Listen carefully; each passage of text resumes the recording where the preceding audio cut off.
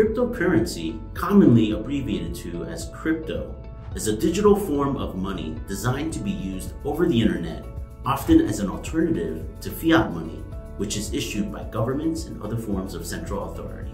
The reason it's causing such shockwaves and becoming such a hot topic is because cryptocurrencies represent an approach to finance that's decentralized. This means that it cuts out the middlemen or points of control while giving back the authority to the people.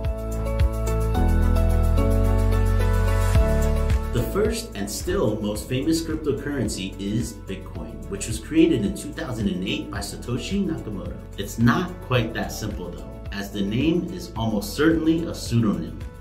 With no one able to confirm the actual creator of Bitcoin, though many have tried to claim the honor.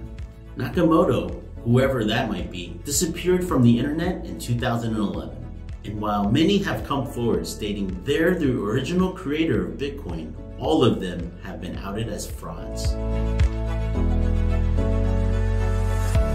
In a word, demand.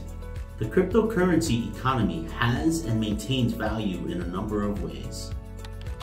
The four main ways are through decentralization, supply, its high performance as an asset over the last decade, and finally, the increasing number of use cases and functions of crypto in everyday transactions. There's a good argument to be made that crypto has come so far so quickly because there's a general understanding that in the years to come, cryptocurrencies will be as common as the US dollar or the euro. There are three main methods to obtain cryptocurrency. Of course, there's other ways, but we'll stick to the tried and true for now.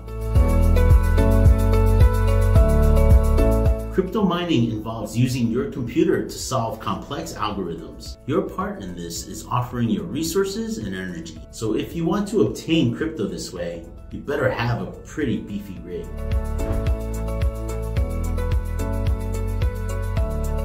Many outlets and businesses, especially those in the blockchain industry, will pay for goods, services, and work in cryptocurrency these days. Undoubtedly the simplest way to enter the crypto world. Just sign up at an exchange like Tidex and buy whatever crypto you want. If you're looking for more information on how to sign up for Tidex and start trading crypto today, click here.